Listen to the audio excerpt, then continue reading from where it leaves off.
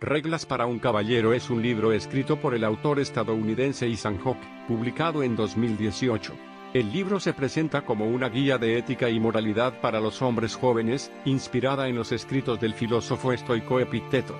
En el libro, Hawke presenta una serie de reglas que considera fundamentales para ser un caballero moderno, tales como ser honesto, mantener la calma, cultivar la empatía y la compasión, y tener una curiosidad constante por el mundo.